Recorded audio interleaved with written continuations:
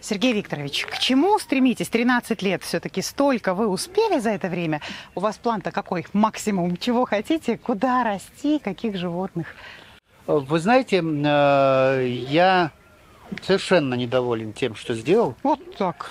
Да, э, потому что каждый раз, гуляя по зоопарку, мне хочется Еще. чего-то еще. А, мне хочется золотая каких-то... антилопа не напоминает? Мне- Нет, в этом вопросе нет, по- потому что чем больше будет вот таких замечательных садиков, чем больше будет уголков отдыха, чем больше коллекция будет животных, которые интересно будет посмотреть нашим посетителям, естественно, вот мы сейчас уже договорились о приобретении э, на съезде, когда я был директоров зоопарков в Нижнем Новгороде, мы договорились с зоопарком Ижевска, с зоопарком Новосибирска, с зоопарком Ростова-на-Дону о том, что мы покупаем у них э, новых животных, которые, на мой взгляд, вот все, все обращаются ко мне, журналисты, говорят, у вас там сурок не проснулся, а у нас не было сурка, теперь проснется. Сурок. Да, сурок, потому что мы договорились, что э, ростовский зоопарк нам продает сурков.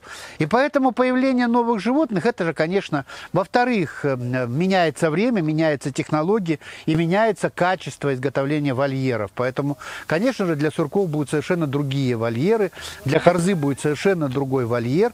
И это э, мне тоже очень нравится.